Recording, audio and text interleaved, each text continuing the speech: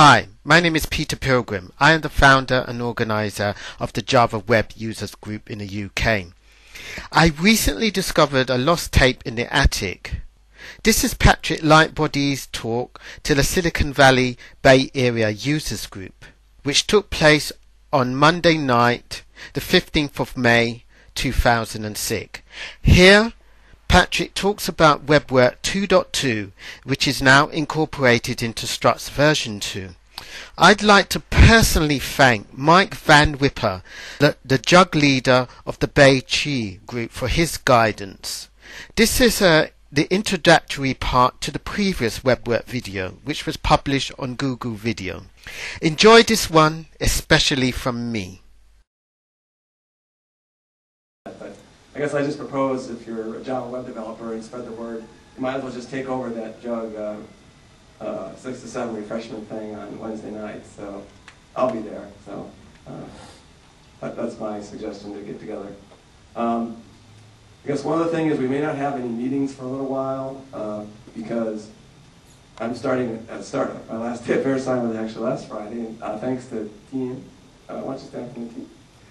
Uh, thanks, Dean, as a VeriSign employee that is our host for this evening, so could be here. And I'm hoping in the future we might still have meetings here, but um, I, because I'm starting this new venture, I'm going to be pretty busy, and I know Don's really busy. And I think we're both very open to anyone else that would like to get involved. And the hardest thing is finding speakers. I mean, I know how to get the space, uh, you know, through the network of people in the valley, but it, the hardest thing is getting speakers lined up and people willing to speak like that. So. Um, I guess that's all I have to say. Um, I'm going to turn over to Don and introduce Patrick and uh, enjoy the event. Thank you. One more announcement to add to that. The Struts group is going to be having a Birds of a Feather, a BOF, Wednesday at 5.30 in the pavilion for all those who go into JavaOne. The goal is to not just sit around and meet each other, which we're doing at many venues such as this. The goal is to get into the technical aspects of struts and particularly start laying out the road the roadmap for the next few months to six months. So if you're interested in getting in the technical type discussions on struts, where it's going, and getting into some of those type of discussions, please join us. Now, our next speaker for tonight, is this thing on? It is? Okay. Our next speaker for tonight is going to be talking about WebWork in action. How many of you use struts? Show of hands. Okay, quite a few. How many of you use WebWork? Not bad. Okay, a few. Well, this is the perfect meeting for you then, because our next speaker has been a WebWork developer for the last two, or three years. He is the architect of the latest version, WebWork 2, and which we'll be talking about later in the session in Java. We're the next version of Struts Action is going to be a merger of WebWork and Struts. And this man right here is one of the lead architects and is making that happen. So please give a warm welcome to our next speaker, Patrick Lightbody.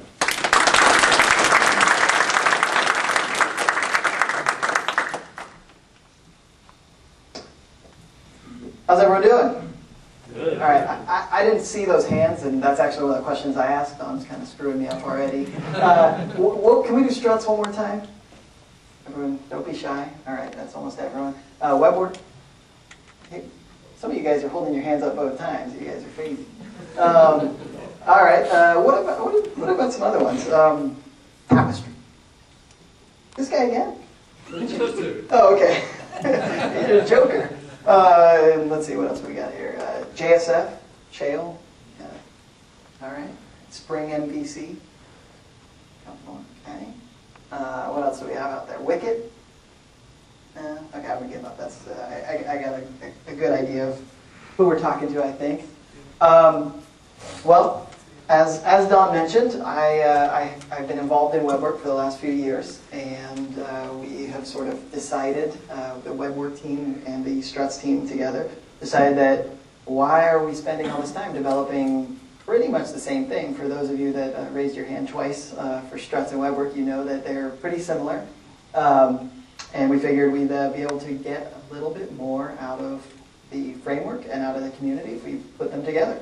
So what, what is happening is uh, Struts 2 Action Framework 2.0 will be uh, basically WebWork plus some additional uh, features that the Struts team are contributing, one of which we're going to go over today that Don actually wrote. It's pretty snazzy.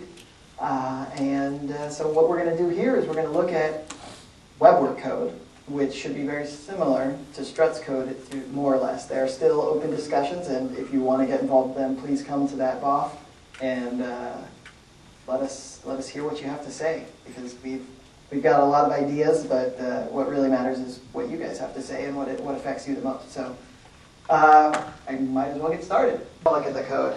You lose all respect for me. it's bad. I'm not kidding. Um, but uh, OpenSymphony is sort of a sister group, a sister organization of OpenQA. The idea is to, instead of center around open source Java frameworks, uh, like OpenSymphony does, we're centering around open source QA tools. So again, if, uh, if, if, you, if you don't feel like giving me a call about open, uh, any sort of web testing, at least check out the stuff at OpenQA. They're pretty cool. Um, for this startup, I was working at Jive Software. They make some Java forum software that I think all of you have probably used in one form or another because they're in, almost deployed at just about every Java developer site now. Any of the ones at uh, Sun, Oracle, Veritas, uh, a bunch of companies all, all run them for their developer their developer communication support communities. Uh, and I was doing professional services there. As much as I, I enjoyed that job, consulting and uh, the hourly hourly style of work kind of got to me. So I, uh, I decided to do the startup. All right. So we are going to, today, we're going to talk about WebWork. We're going to first just introduce the high-level concepts, uh, compare it to some of these other frameworks. I got a few, a few tapestries out there and a few Spring MVCs, so we'll kind of talk about what the difference is, what it means to have an action framework versus a component framework, and uh, what that means in terms of differences of how, you, how easy you can build different styles of applications yesterday and what that means for today and what that means for tomorrow going forward into the future and do those differences, will, will they have an impact they might have today?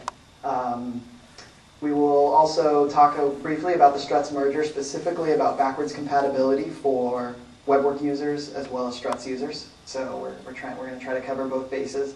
They are both very much work in progress, so don't take anything I say as set in stone. Far from it, and uh, we want to hear your feedback on ideas for how we can handle a, a migration and upgrade for all of you users.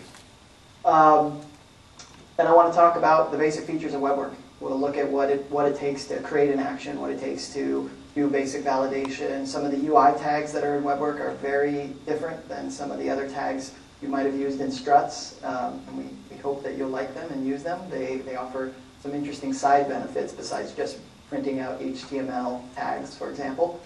Uh, we'll take a look at how we're trying to explore rapid application development with WebWork and moving forward into Struts Action 2.0.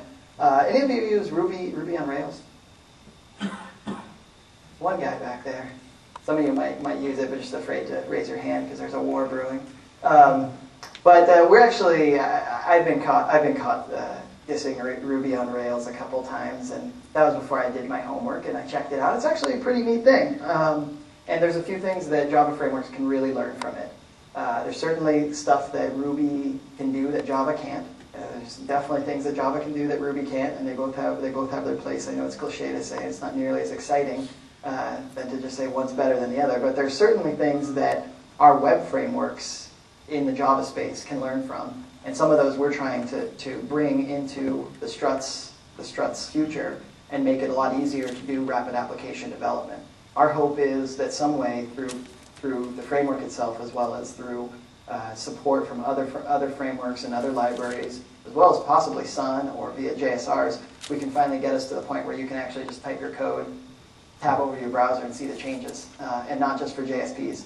We have some of that working now, but it's uh, very much uh, work, in, work in progress. And lastly, we'll look at some of the AJAX support because no presentation these days is complete without AJAX in it. Um, all right, let's get on. So an overview of WebWork. WebWork is a, at its core, built on the command pattern. Command pattern, if you don't, aren't aware of it, is about the simplest pattern in the world. I don't think there is one simpler than that. Uh, it says create an object, maybe set some properties, and call go or execute. Just call a method on it, and that's it. Very basic pattern, and it can be used for the foundation of a lot of things. It can be used in workflow engines. It can be used in um, maybe triggers, any sort of uh, scheduling system it can be used in web frameworks. So we use a command pattern for all of that. Um, WebWork is a little different than Struts in that it works directly on basic Java objects, Java beans, POJOs. You don't necessarily have to implement any sort of interface or extend a base class. Uh, so for those of you working working with struts, you might be familiar. You have, you have to sort of set up your your form bean as well as your action. You have to extend some base classes.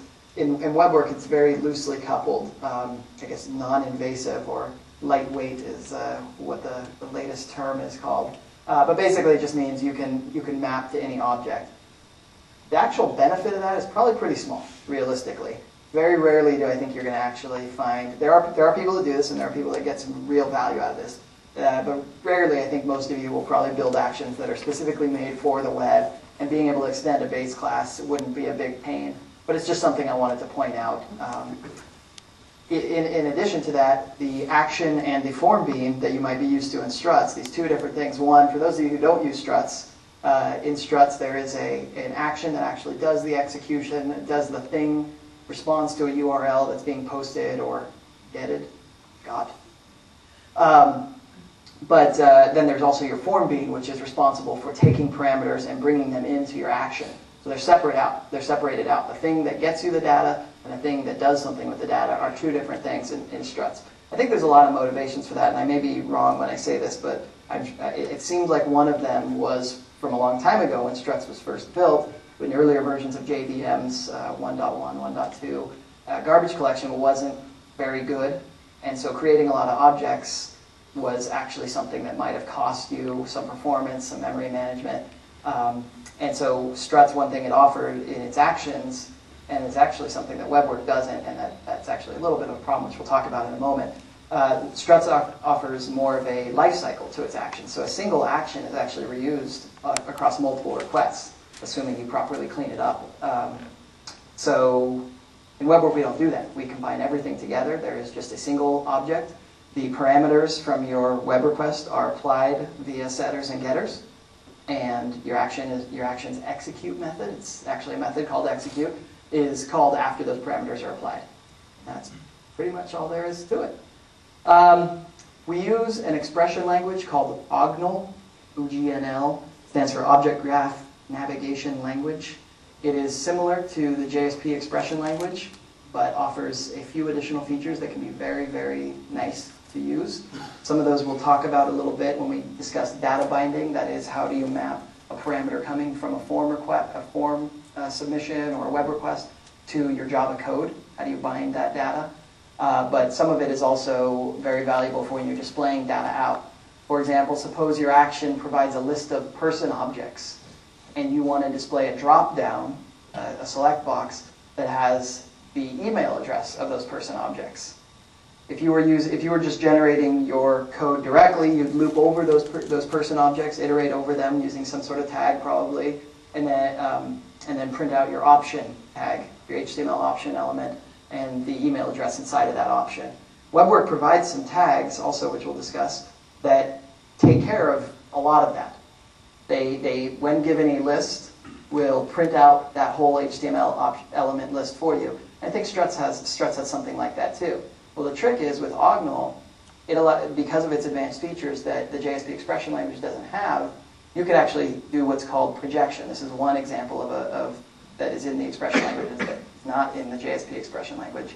Projection is the idea of take a list, and then for each item in that list, loop over it, and call some, get some value from each object in, the, in that list, and put it into a temporary list. So you could project on that list of people and get out just the email addresses. So you could still provide a temporary list of your email addresses that you wanted to a tag that's already there. You wouldn't have to write your own HTML. So that's just one reason why we use OGNL, and we're really hoping to get away from OGNL at some point and get back into the JSP expression language because we do want to be standards compliant, especially as we move to a larger community with struts. All right, uh, we have an, a, an advanced validation framework. Uh, it's similar to Commons Validator, if you guys have used that. It provides some additional features. It binds closely in with OGNL, and uh, it's, it lets you do some fun things, especially when we start getting AJAX involved. See that in a moment. Uh, the extensible widget system, we got to come up with a standard name for that, but those are basically those UI tags I was talking about. The ability to print out HTML that's more than just an input field or a submit button, but WebWork actually goes beyond that and prints out the stuff that is typically found around those things. Labels, error messages, uh, formatting, alignment, styling, that kind of stuff. Uh, and lastly, WebWork supports lots of different view technologies. For the most part, how many of you guys use JSP? Yeah, pretty much. Anybody use a template language like Velocity or FreeMarker?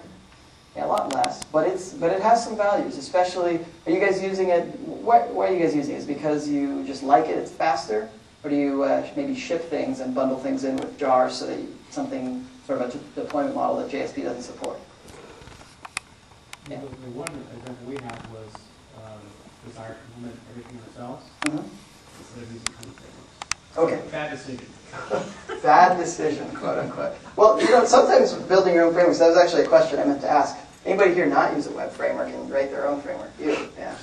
Uh, now that you called it a bad decision, no one else is going to raise their hand. Uh, yeah. Just one point of uh, order um, if you want to get questions on the recording, uh, I to run the mic to you. Or I can, uh, Or you I can repeat them. Yeah.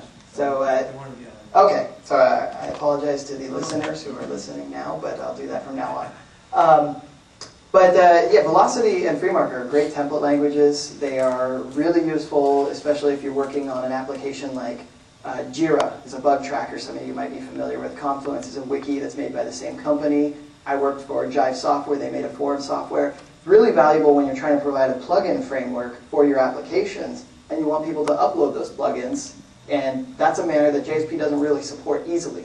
Uh, some application servers won't deploy that model at all, won't support that model at all, or support it in really hacky ways.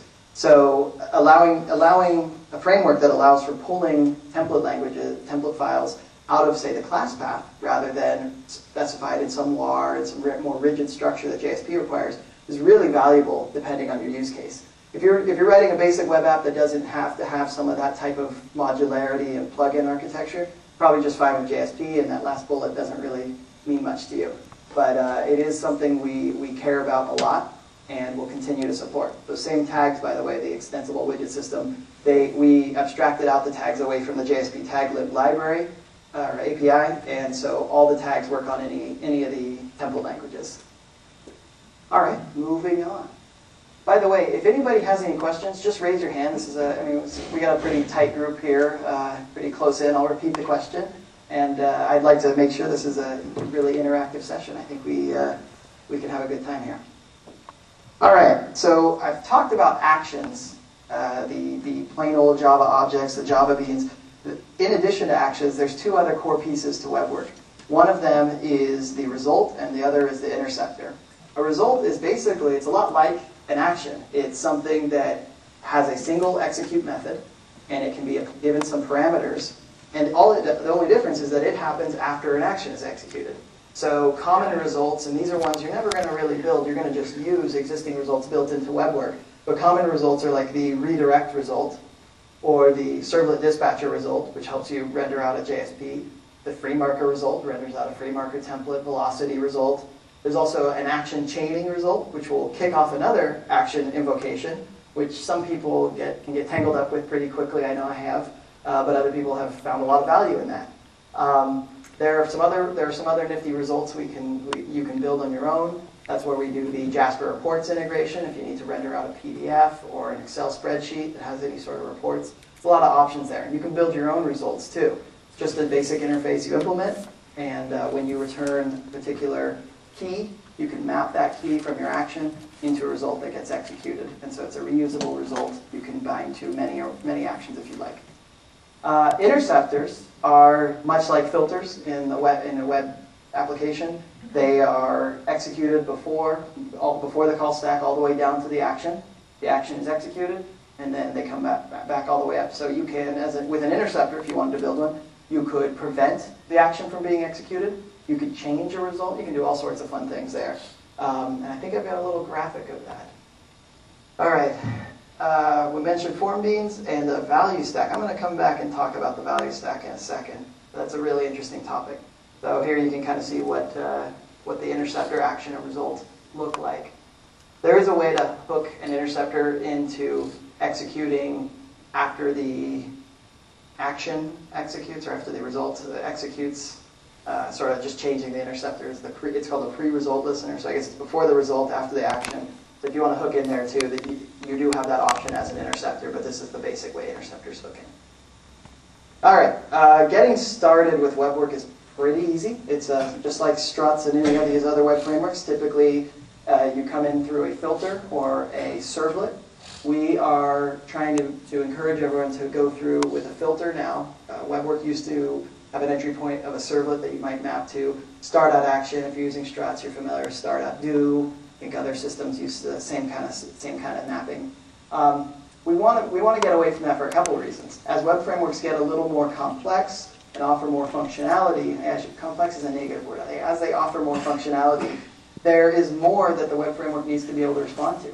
As we were building out AJAX support, for example, there were a lot of static files that we needed to pull out JavaScript, CSS. There's a lot of there's a lot of stuff, and we didn't want to require that you had you'd have a more complicated deployment process. We didn't want to say, okay, you got to load up this servlet or you got to copy these files to your web app. We wanted to make it really easy, so we started recommending that everyone use a filter. With the, so the filter mapped to slash star, as in every request, handles everything. And if it can't handle it, if it's not loading, say, static content, or it's not responding to a WebWork action, it just lets the request fall right through. And so it, the overhead is very little. Um, so that's, that's basically all you have to add to your web your web.xml is a single filter, map it to slash star, and you're good to go. The actual mapping of URL patterns to requests is done through a, a thing called an action mapper. For the most part, you probably will not touch this. The default action mapper is the one you're all familiar with, which is star.action.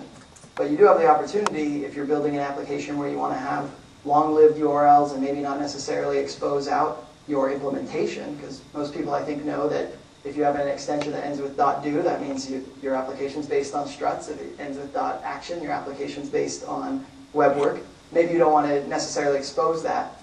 So you could actually write your own action mapper that has its own techniques and own URL patterns that are a lot cleaner, and you could even change the entire underlying application someday in the future, and, and you wouldn't be bound to .do or .action. So it's just something to think about. We're not forcing you to do that. We're not even, uh, we're not even necessarily pushing it right now because it's not our default our default mapping system. And it'll it will sort of package up a, a built-in Jetty application server for you and deploy that. So it's a great way to get started. And if you if you use Quick Start for development, which is highly recommended, you can switch over and deploy it on any application server because in, in the middle of it, it's really just another Jetty servlet container. All right. Any questions? Okay. So the filter I was talking about, this is pretty much what it looks like. That's it. That's the entire setup for WebWork to get started. There's there are other options you're eventually going to do, but uh, for your for your day one, playing around with things, that's all you have to set up. Turn my phone off. That'd be embarrassing. Xwork and uh, we apologize for letting that bleed through because I don't think most of you will care about that. But it's called xwork.xml in struts. I think we're calling it strutsaction.xml. Uh, definitely a more valid name. But in there, you specify package structures. You can map these packages to namespaces. Inside of each package, you can have one or more actions. Those actions can then be bound to a particular request uh, and so on and so on. So let me, uh, let me show you what one of these looks like. So here's an example xwork.xml. The very first line is the most important line. If you're going to get started with WebWork or even struts, although maybe we should just automate this. You shouldn't have to really do this. But it's WebWork you do right now. The idea is you need to include a built-in WebWork default.xml configuration file. This is important because it sets up some of these built-in standard interceptors and results that really piece together the core functionality of WebWork. A lot of the very basic functionality, like applying request parameters onto your action, is actually done via an interceptor. So if you were to run your actions without setting up one of these, these pre-built stacks, these interceptor stacks for you already, uh, your action's not going to do much. It'll get called, but you won't have any parameters. And we do get that, that, that question in the forums every once in a while. So if you're going to get started with xwork.xml, that's the very first thing you do. You include that. Uh, that's, loaded, that's loaded up from the class path, and any other include can also be loaded up from the class path. It's a great way to build modular jar files, especially if you're using Velocity or FreeMarker as temp your template language. You could load up your entire partial xwork.xml, which looks just like this. It's, it's actually a full xwork.xml, but the assumption being it'd be included in another one. Um, you could load up your actions as well as your templates. So you can have these tiny, these tiny jars that offer limited function, basic functionality. That's, that's what a lot of these applications I mentioned before, like Jira, Confluence, and Jive Forums, use as their plugin system. All right, the next, the next thing here is this package block. Packages are just way, group, ways to group actions together. Inside of a package, you can define interceptors and results. You usually won't, so it doesn't matter, but if you do, they're going to be bound to a particular package or any package that you extend from. So you see here, we extend the WebWork default package. That package is defined, uh, surpri not surprisingly, in the WebWork default.xml file that we just included. So by extending that package, we're inheriting in all the interceptors and results that came from that other, that, that other package. We call this package default, and then inside of there we define the action. The action here is list people. That's going to be kind of my running example here, talking about people. Um, list people is your class. The name is list people with a lowercase l.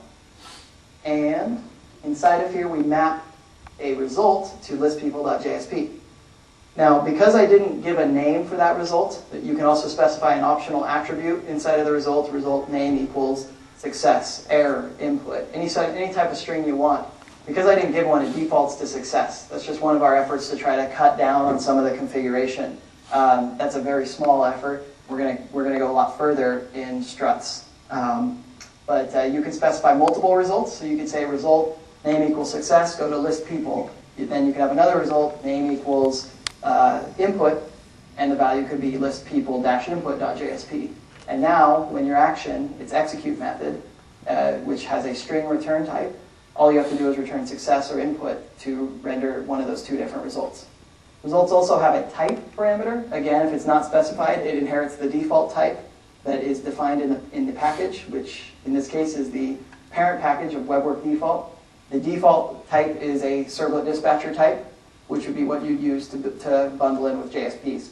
But if you wanted to put type equals Jasper reports, then you could point to an XML file that generates out your Jasper report system, uh, your, uh, your report. So there's a lot of options here with this result, uh, this result mapping type of system. So you didn't see any interceptors configured there, but there are actually a lot of them. I think they were up to 15 or so that we provide built into WebWork. Some of them are a lot more important than others. Applying HTTP parameters, HTTP parameters is probably the most important because you're not going to do much unless you can get your data. Um, other, other interceptors that are part of the, the basic stack, we've got logging in there. Uh, you, could, you could add your own for basic security, standard kind of AOP type of security transactions logging. Anybody think of some other ones? Um, but there's more to that too. We, for example, use a validation interceptor to call the validation framework before the action executes and say, hey, is this, is this data valid? And if it's not, we'll stop the entire stack. We just return a hard-coded string of input, which is a common kind of convention we want WebWork users to, to use, where input string maps to your input page, i.e. the form you were submitting from. And so the validation framework detects any errors, uh, the interceptor will automatically return input, action never gets executed. That's another example of those. Um, we have some, some pretty neat advanced interceptors that are, are really exciting, and we actually don't, they don't get as much press as they probably should. One of them is this please wait page. So anybody you guys do searches for on Orbitz or uh, Expedia.com and you, you look for a cheap airline and you'll get this page that says, please wait while we, we, we search for your lowest airfare. Well, that's a pretty nice, that's a pretty nice user experience because you don't want the, a user to click submit and then just wait there for 30 seconds. That kind of, that's not a fun experience at all. Um, in fact, they'll probably, if they're like my mom, continue clicking, which only makes things worse. Um, so what we provided via an interceptor, which actually would, you can add to your interceptor stack without changing any of your action, any of your result, anything at all. You, literally, you just add an interceptor to your stack on your action. You can get that functionality automatic. Um, what happens is that the interceptor, assuming it needs to be the last interceptor in your stack, but as your requests come all the way down, the last interceptor will actually stop the action request from, from happening right then on that thread. And instead, it'll create a new thread and let the re- request finish off on this other thread, and it'll, it'll store that in a local area, basically in the session. Um, I don't know, I don't remember all the details. And then send the request back up to a wait page. It'll return the, the string wait. So as long as you've got a result mapped to wait, if you don't, then it'll use a default wait page that it's got built in. Um, as long as you have a, a, result as wait, or you let it, you, you don't mind using this default wait page, which is kind of boring. You probably want one that's a little sexier that says Orbitz or says Expedia, has a gnome on it or something like that. Um, you, you'll, you'll get that feature. And then what that page does is it, it reloads every few seconds. It's really basic. It's not Ajax. It's not as cutting edge as, the, as that, although you could implement a wait page that does that. Uh, but it just uses a meta refresh tag, reloads the page every few seconds. And that same interceptor will go all the way back down the stack every time we reload the page. And the interceptor will say, okay, well, I know someone's already running, so we don't need to spawn off a new thread, but is it done? And if it's not done, it sends you back to wait. And then finally, when it is done, it'll run it, or it'll pick up that, that action that's already completed and send you back to the success page showing you the results automatically. So that's just an example of the power of using some of these interceptors. We don't want to make things too complicated for you, so we're trying to keep them away initially for your 90% use case. But when you do have situations like this, it's a great way to plop something in, make it reusable for lots of different actions. So if you have this requirement in multiple places, you can implement it without hard coding the concept into your actions. And uh, you get some pretty cool features. Another one is preventing the, the double click problem. A lot of uh, a lot of people are probably familiar with that. Someone someone clicks twice on an important transaction. Some websites you've probably seen that say don't click this twice. That's that's probably not the best user experience. Um, Netflix, or is it Netflix? Yeah, Netflix. I think the way they do it is that if, if and that, this is not necessarily bad. They use JavaScript. They just gray out, disable the button whenever the first click goes in, so you, you can't click again. Of course, that doesn't work if you're if you've got JavaScript disabled, if that's one of your requirements. So we built a little interceptor that helps out with that. Uh, basically, if you're using this interceptor, there, there will be a token that will be associated with your form. Pretty standard pattern, associate a, a one-time use token. And when that token gets submitted, the interceptor will say, have we seen this token yet? And if we haven't, it lets the request pass through. If we have, it stops the request, won't let it execute. Well, that's that's pretty standard. I think uh, I think str does Struts have that built in? Yeah, Struts has that built in. We, yeah, but it has the, has the concept. Yeah. We went one step a little bit further, and we tried to do some tricky stuff. There are some downsides to it, and we can go over those if you guys are curious. But what what we did is we said, okay, well, one of them can be let's just display an error. You know, okay, this this token's already been used. Let's display an error. Um, problem with that is my mom likes the double click. And when she gets an error, that doesn't help her either. I mean, it's almost just as bad. So instead, what, what, what this interceptor will do, there's another one we call the token session interceptor. It will actually stop subsequent requests. It'll synchronize on a particular key on, uh, for that session, and it'll stop the second ones from going and wait until the very first one, the one that had the valid token, completes.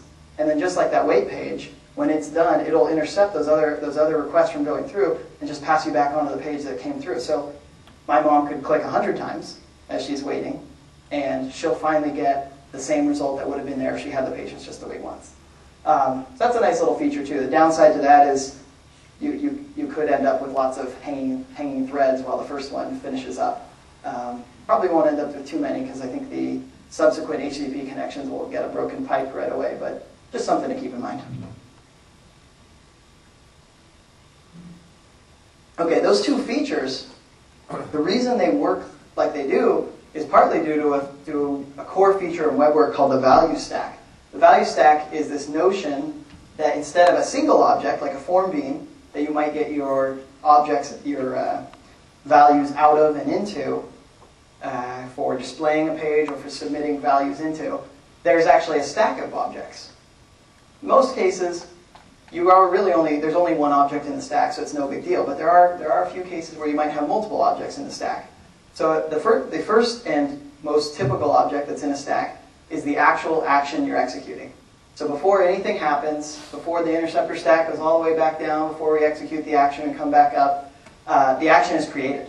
We just new action, whatever action it is, and we pop plop that right in the stack. So the stack is size one. Well, then we then we invoke all the interceptors. Well, suppose we've got the one of those two advanced interceptors we were just talking about that short circuit the request. Well, the action that's on the value stack now actually isn't the action we want. It's not the action that finished up. It's not the action that uh, we were waiting for. It's not the first the first request. It's just some new action that has your maybe has some values applied to it. Uh, could have could have gone through some validation framework. Could have done. There could be all sorts of things happening to it, but it's not the one we want. So what those interceptors do is they get the object, the action from the value stack that had previously executed the one that we do want. they just push it right on the value stack. We push it right down. Now we got two objects of the same type, maybe uh, search search plane search airfares action, and there's two of them. There's one that's kind of the crappy one we don't want, and then there's the better one that has the actual values from the first request. And then they submit the, the page back to its result. And so at that point, the stack, the way it works is it kind of looks downward. So imagine we've got this stack of objects, as high or as low as you want, and uh, and if you look if you look at it from the side, it obviously has a very different footprint if there's three objects in it then say there's one object. But if the if at the very top of it, the one object or three objects, if they both have the same object in it, and you look at it from above, has a very similar footprint, right? Well, that becomes important when we get and set values. So when we get a value back, we say, okay, I want a list of airfares from the search results, uh, the search airfares action. Well, it doesn't matter if there's uh, that the same action here and here, or there's just one. We're gonna we're gonna go down from top to bottom, asking each object one at a time. Hey, do you have a list of airfares? And the first one that says yes and gives it to us is the one that returns. So that's why with a value stack you can do loose coupling and mimic and make make an appearance of a similar footprint without actually having the same data associated with your request necessarily. That's a little complex. Let me see if uh, there's anything else I wanted to talk about here. Um, an example, an example of where the action, the uh, the value stack also is valuable. So one example is in those interceptors I was talking about. Another one is this this interceptor tag or the uh, iterator tag. Sorry, all the I words. Uh, the iterator tag is a webwork tag, JSP tag, FreeMarker, velocity, any of them that you want. And you give it a value. The value is typically an array, a list, a map, some sort of collection. And the iterator will just loop over them. Pretty standard stuff. I'm sure most web frameworks have that type, of thing. The only, the only thing that's unique with it is that it pushes the object that it's currently iterating on onto the stack. So we've got that airfare one again, or the, the example I've been using is this pers person. Say we're listing a bunch of people.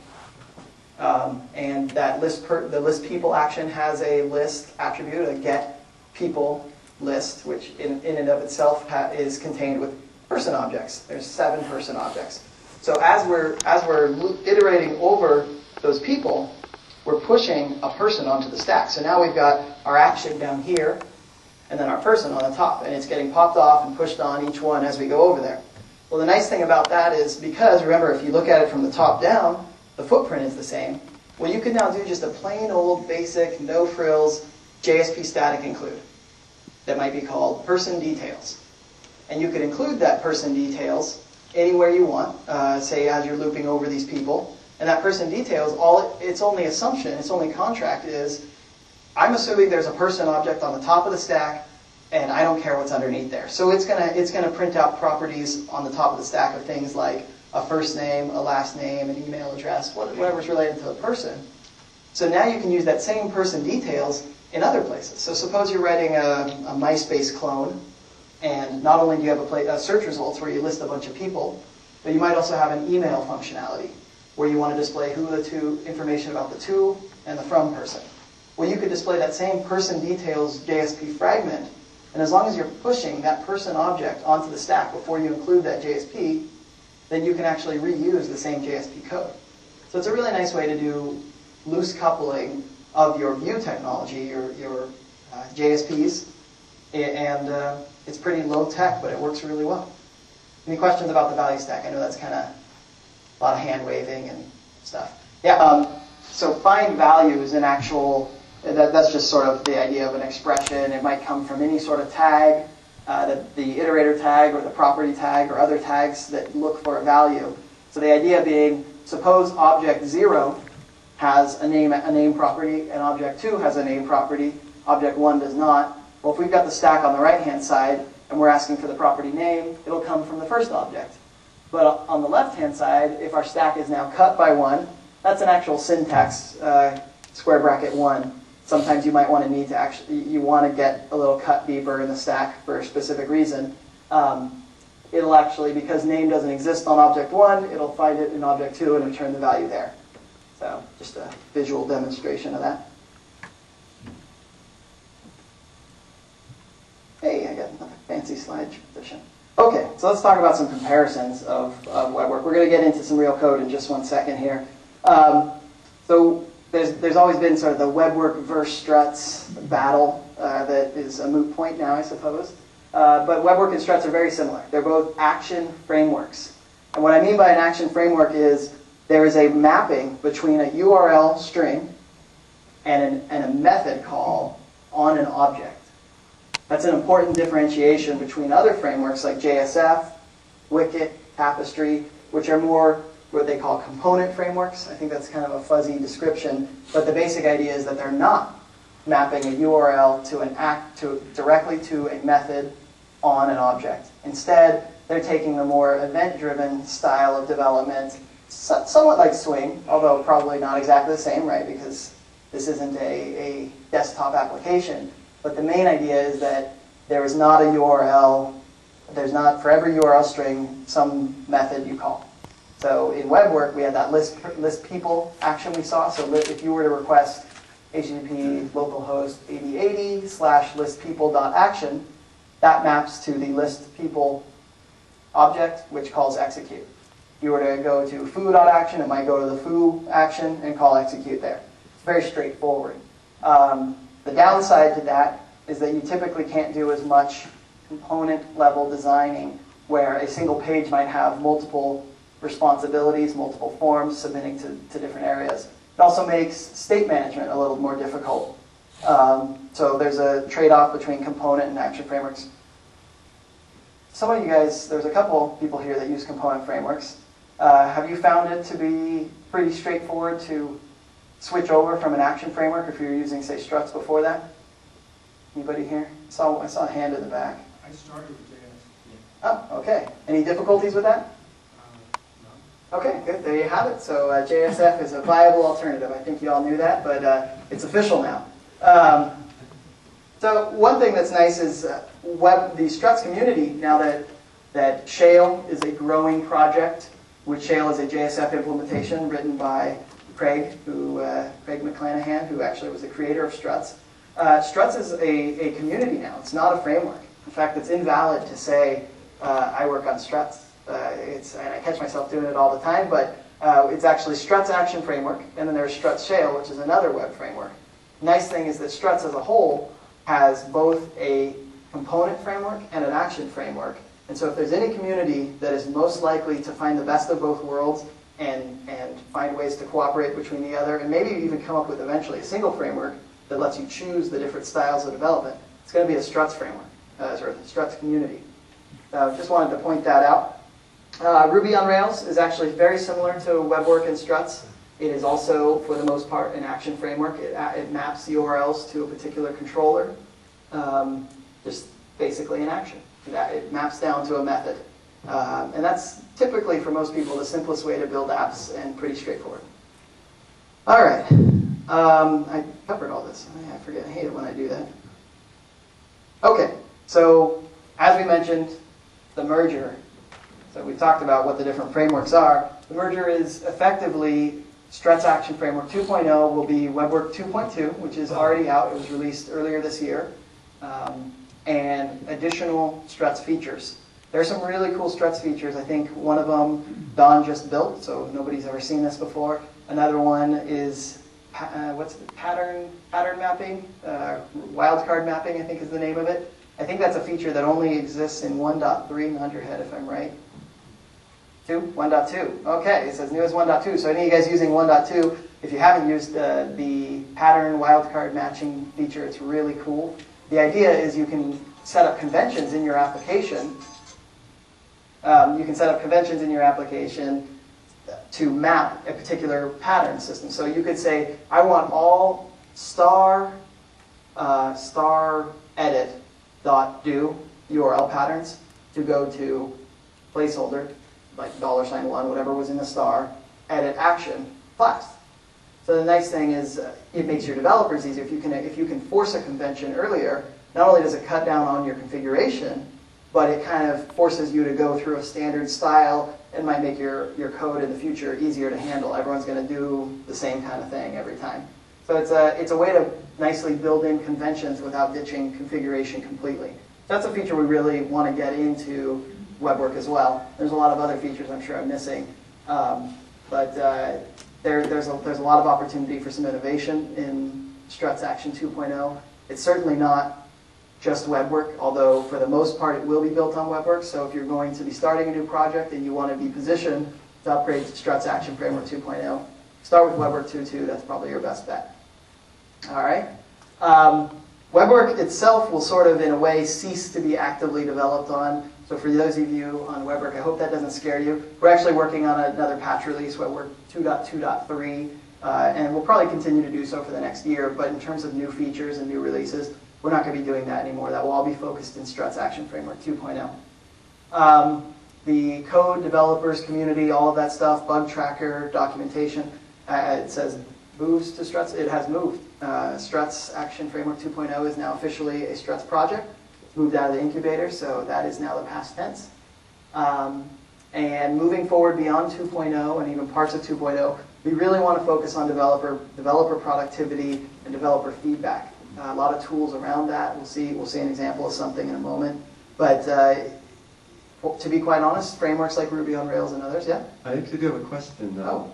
I mean, well, so is the Struts user list going to be where all of these projects are discussed now? Shale, uh, Action Framework 2.0, Fern Struts, Yes. and any others? Yes, and that's, that may lead to some confusion, and we're hoping, we're hoping for users to prefix their questions with the particular framework they're using, and there's also, there'll be tiles in there and some of the other Strut sub-projects.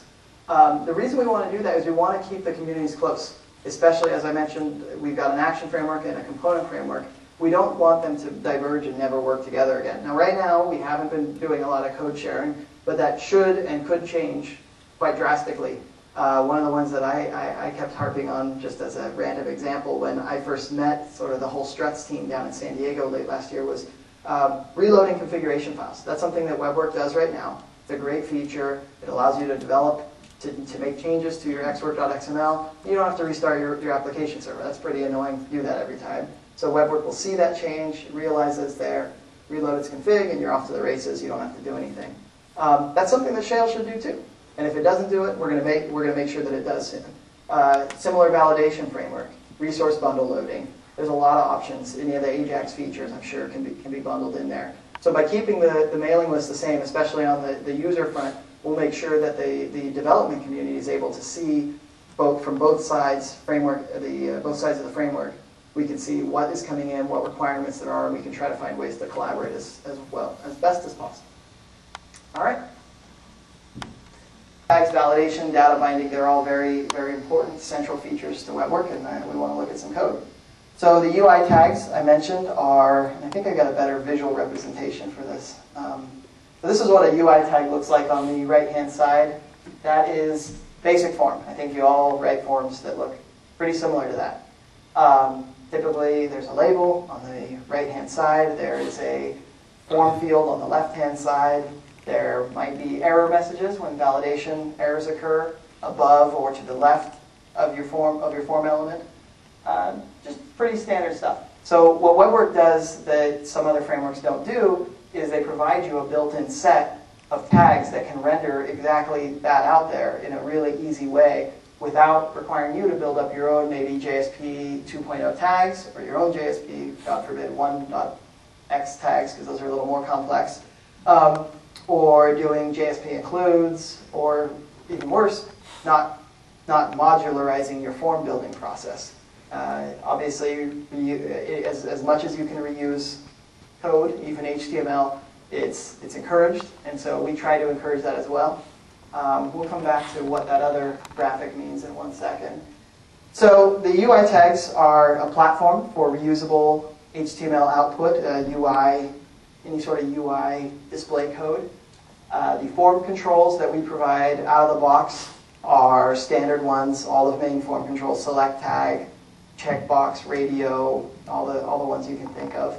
Um, we group templates that are rendered out from these form tags into themes. And so what's interesting about that is that each individual tag can actually spit out something uh, very different HTML depending on which theme you're using. So some of the themes, we, we provide three built-in themes. There's actually a couple more than that, but the important ones are simple, which just prints out the form element itself. There's nothing else. No labels, no errors, no styling, no nothing. Just a basic tag. XHTML, which is a horribly named uh, theme that we need to switch, but it's basically two column. So two column layout, labels on the right hand side, elements on the left hand side. Um, the one we the one we use now is tables. I know that's old school, and we should uh, we should default it to divs and style sheets, but uh, the same notion, the same concept applies. And then lastly, there's an Ajax theme. The Ajax theme just extends that two-column XHTML theme and adds additional functionality in there, like client-side form validation, for example. So as you tab through those form elements, there will be an, there will be an on-blur event that's registered, and then your values that you've already typed in are submitted in the back end up to a server, we validate it, and pop in any sort of error message right on the fly. So a lot of people don't like to use these, and it's really unfortunate because they're missing out on some great features.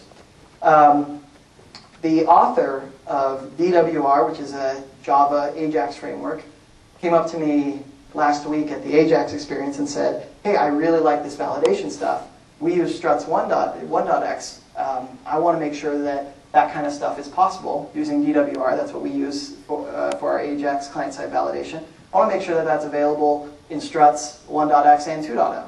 And we agreed, yes, that's a good idea. Uh, definitely will be there in struts action 2.0, but can we get it into the, the 1.x releases? It's possible, but it's harder if you don't have a framework like these UI tags for really standardizing how the HTML is printed out.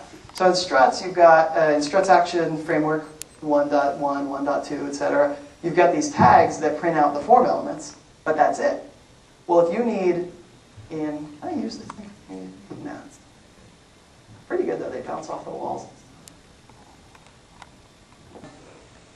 You're probably writing your own HTML. Maybe you're using a table. Let's just assume a table for, for yeah, simplest case, no styling and whatnot. Well, we've got a row up there at the top and there's a validation error. If you're trying to do client-side validation, you need to know the DOM structure of this particular form.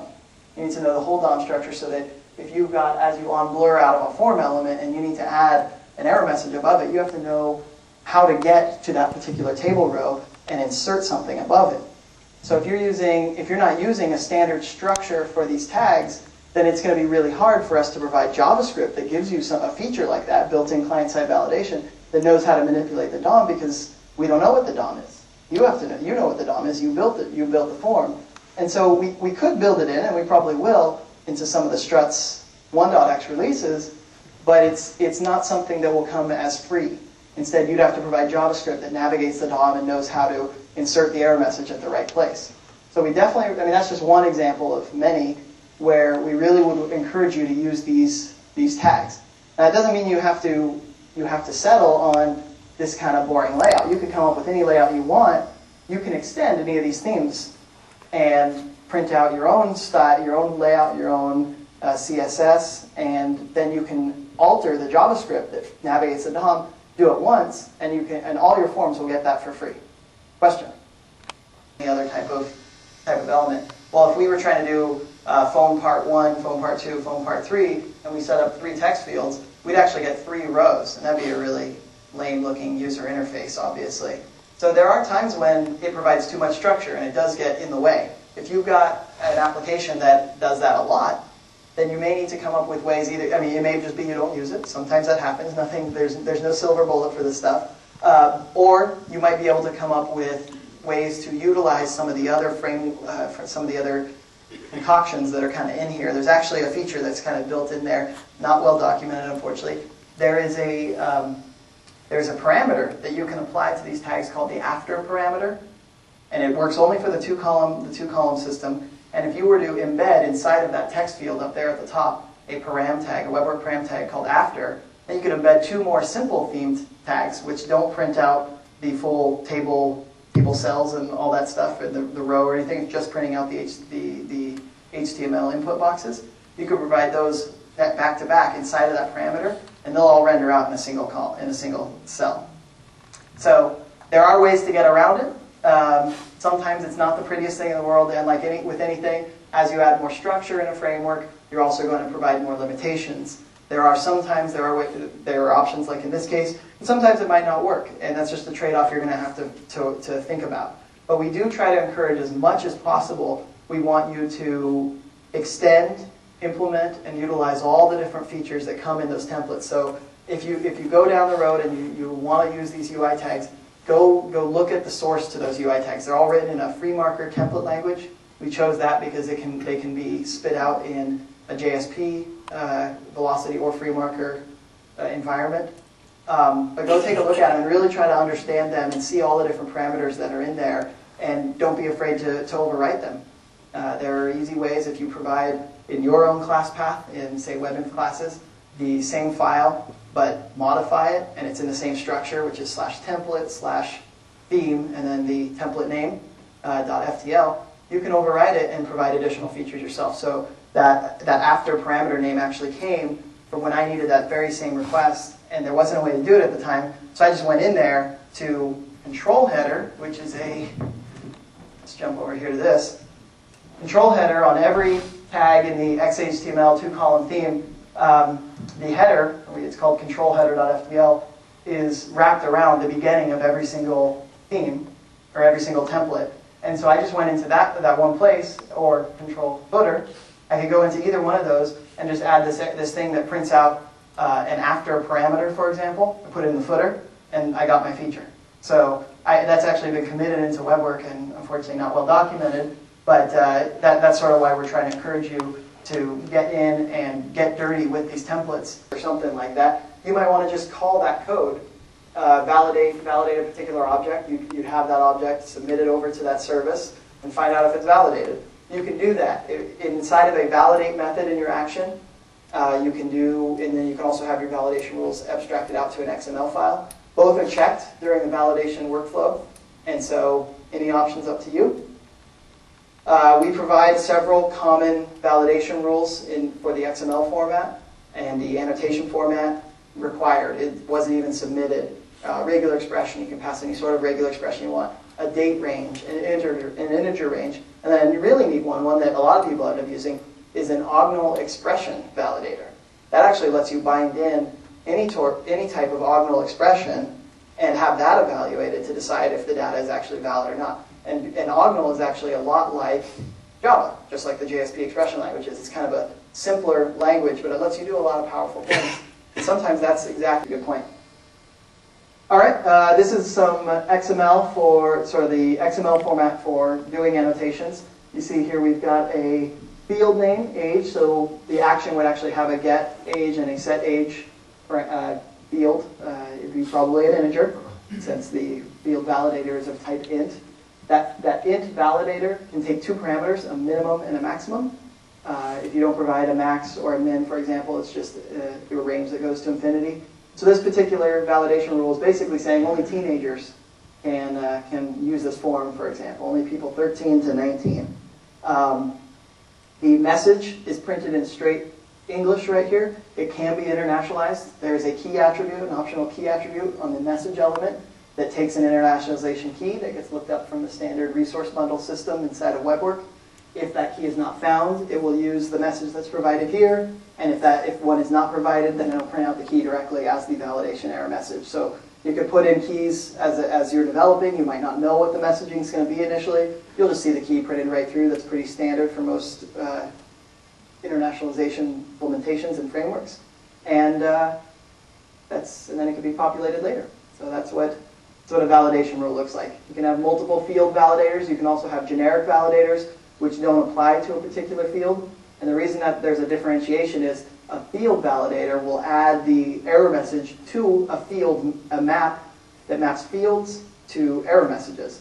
That's important because back at that, that table of all the forms and everything we saw, there are some error messages that are unique to a particular field, and then there are some that are just kind of generic error messages. Um, sorry, your account balance is empty or something like that. Maybe you don't want to apply that to, to a particular field. You just want to display it somewhere. So we support both field validation level, field level validation as well as generic action level error messages. Okay, um, yeah, we can do a quick demo of this, I think.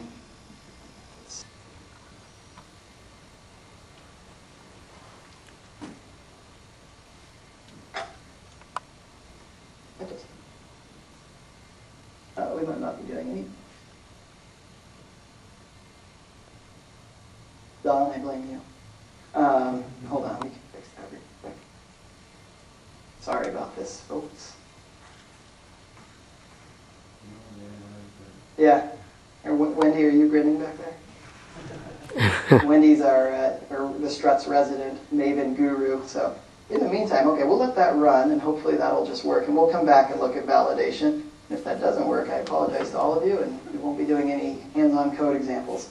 Um, okay, let's look at data validation while that's going in the background. Uh, data binding, that is. Data binding, like I said, is the ability to apply HTTP get and post parameters onto your action. It's a very common thing if you, I mean, pretty much everybody does it in some way or another, otherwise you would have a very worthless application. Um, the main, the root problem here is that HTTP as a specification was never designed to understand a notion of types. It's a types artifacts that were part of my build instead of actually configuring up a whole web application. I know I did that kind of quickly, but uh, oh, that's all right. We don't, we aren't going anywhere other than the showcase locally. No, no. So.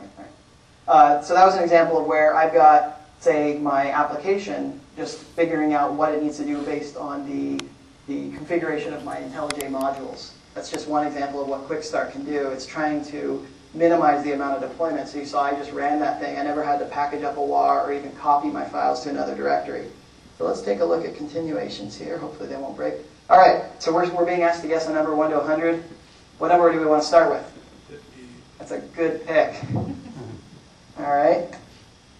Too high. Uh, what's another number? 25. All right, we've got real mathematicians here. Uh, you guys are better than me at this. All right, uh, too high again. 12. Good one. Yeah. Too low. Oh, what are we going to do? 18. All right, if we don't guess it here, you're the one to blame. Good. All right, too low as well. What is it, between 25 and 18? Say 22. I heard 22. This is our last chance. You got it. Nice. Very, very nice. So you got it on the last try. Uh, now here's something that's funny with continuations. You see continue up here? This uh, continue, blah, blah, blah, blah, blah. That's how we track continuations. Every single change, every single step in that continuation process is being remembered via a unique ID. Um, one an additional advantage this has, except for in games like this, is I can go back and notice that continuation ID is changing every time. And so back up here, there's only this, this stack that's saved. There's only one guess that's happened. What was the number in 22? All right. I've decided that we're better. We didn't do it in six tries. We did it in one try. Voila. So it's a, obviously it's a cheating mechanism for uh, for some games, but you would uh, you would see the power of this in say a shopping cart. You, the back button is handled automatically.